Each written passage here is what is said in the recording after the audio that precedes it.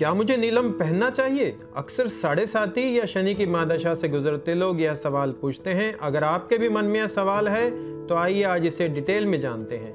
कोई भी नग किसी भी ग्रह के लिए काम करता है, यह सिर्फ़ एक कोरी मान्यता नहीं है। इसके पीछे कोई ना कोई साइंटिफिक रीजन ज़रूर होता है। जैसे कि, नीलम यानी कि ब्लू सफ़ायर एक कीमती पत्थर है और ग्रीक भाषा में सफ़ायर का मतलब है ब्लू यानी कि नीला। और वास्तव में नीलम में आयरन कंटेंट बहुत अधिक होता है। और शनि की धातु भी आयरन है, यानी कि लोहा, और शनि का फेवरेट कलर भी ब्लू है। शनि ना सिर्फ़ न्याय के देवता हैं, बल्कि जन्म कुंडली में कर्म के, मेहनत के स्वामी भी शनि हैं।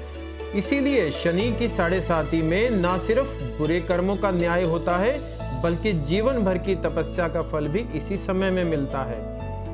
इसीलिए शनि की गुड इफेक्ट्स को बढ़ाने के लिए लोहे का छल्ला पहनाया जाता है या फिर लोहे के छल्ले में नीलम पहनाया जाता है। यहाँ एक सवाल ये उठता है कि किसे नीलम पहनना चाहिए और किसे नहीं। तो इस संबंध में एक बेसिक जानकारी मैं आपको दे रहा हूँ। ऐसे में वृक्ष लगन, तुला लगन और मकर लगन वाले व्यक्तियों के लिए नीलम बहुत फेवरेबल रहता है।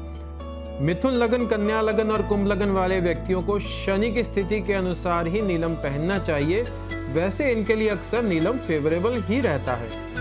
परंतु मेष लगन, कर्क, सिंह, वृश्चिक, धनु और मीन लगन वाले व्यक्तियों को नीलम हरगिज नहीं पहनना चाहिए, बल्कि इन्हें चाहिए कि शनि से संबंधित चीज़ें, जैसे कि काली उड़द और सरसों के तेल का दान गरीब व्यक्ति को, अपाहिज व्यक्ति को ज़रूर करें। और अपने बुज़ुर्गों की सेवा करें और उनका दिल से सम्मान करें, आपकी दुनिया ही बदल जाएगी।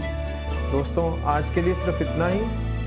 अगर आपको ये वीडियो पसंद आया हो तो प्लीज़ हमारे साथ जुड़े रहें। अगले किसी वीडियो में किसी अच्छे नए टॉपिक के साथ आपसे फिर मिलना होगा। तब तक के लिए नमस्कार।